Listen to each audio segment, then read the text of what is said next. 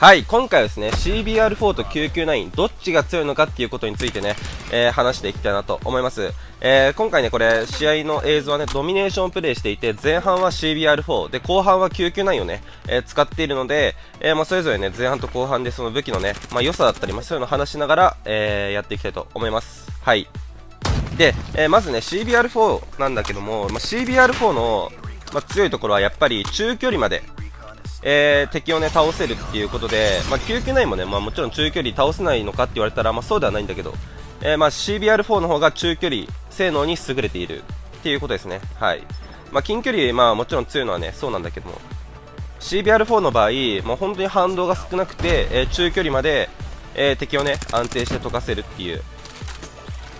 のが CBR4 で、で、マップですね。まあ、今回この試合映像でも流れているレイドだったりあとはファイアリングレンジとかですね、えー、中距離で戦うのが多いマップ。だと、えー、CBR4 の方が強いのかなっていう感じはしますね。はい。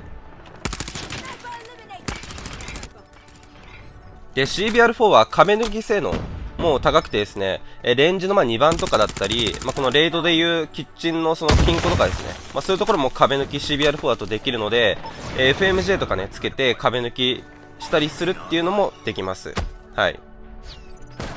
まあ、中距離でもね、全然エイムが良ければ AR 相手にも CBR4 だったら勝てたりもしますよね。俺がね、よくね、そのコメントとかで言われたりするのは、その CBR4 と999そのどっちが強いのかって聞かれた時に、まあ、その中距離だったら CBR4 で近距離だったら999っていう風にね答えてるんですけども、まあ、それはやっぱりその自分のね立ち回りとかも結構絡んでくると思いますので、まあ、そのマップによっての立ち回り、まあ、SMG ってやっぱり敵との、ね、距離詰めるのが大事じゃないですか。でその自分のま立ち回り次第っていうのも結構あるんですよねやっぱり、まあ、SMG 持ってて全然近距離に詰めれなかったらもう一方的にねあの中遠距離で狩られちゃって何もできませんみたいなことにもなっちゃうのででもまあ CBR4 はね、その点、まあ、中距離でも戦えなくはないので、あのー、まあ、そういう強ポジとか使ってね、中距離とかで、えー、敵を撃って、撃って、まあ、戦っていくっていうようなスタイルでもね、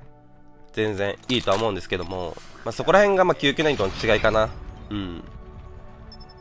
はい、ということで前半戦終わりましたね。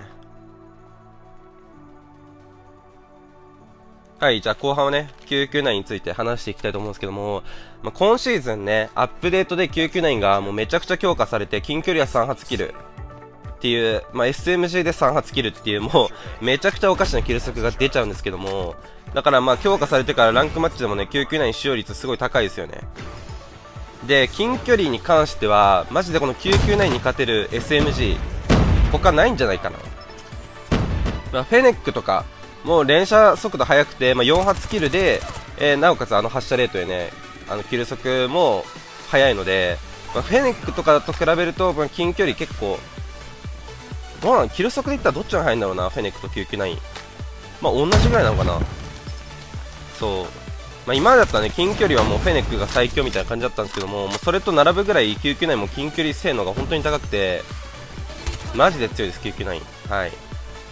で、まあ、その CBR4 とのね、比較でも言った、まあ、その近距離と中距離に関してなんですけども、まあ、その中距離はやっぱり999だと、うん、ちょっと火力不足になっちゃいますね。うん、距離で言うと、どうなんだろう、まあ、20メートルとか離れた敵に対しては、やっぱり、その距離で打ち合っちゃうと負けることが多い。だからまあ5メートルとか10メートルとか、まあ、それぐらいの、まあ、15メートル以内ぐらいかな。で打ち合う立ち回りっていうのが999には求められててでマップでいうとスタンドオフとかあとサミットとかですね、まあ、いわゆる SMG マップって言われてるような、えー、まあ、狭いマップだと999はめちゃくちゃ強いです。はいもう近距離3発キル出るし、えー、まあ、そういう中庭とかそういうスタンドオフのね中庭とか、まあ、そういう教会の中とか、まあ、建物の中とかもめちゃくちゃ強いですよね。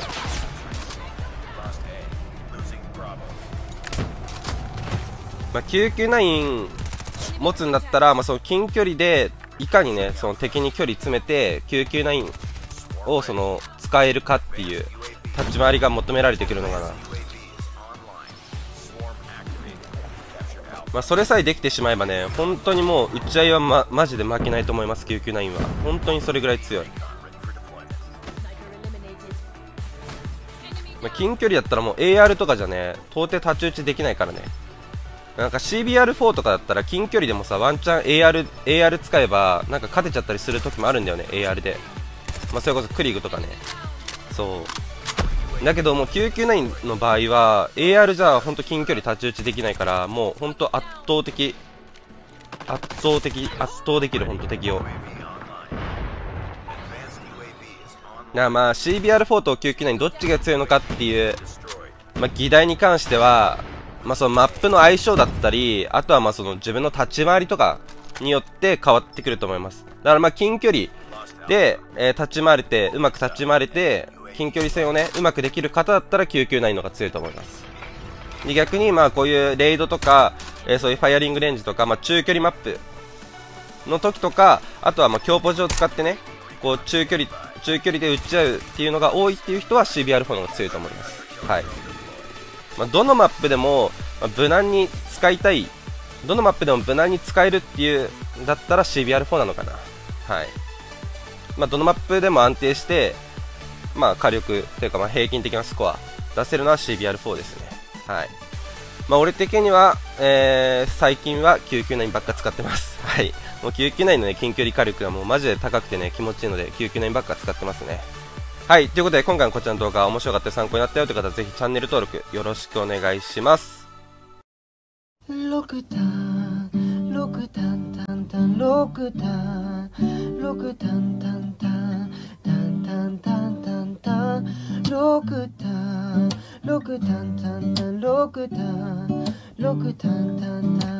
みんなの、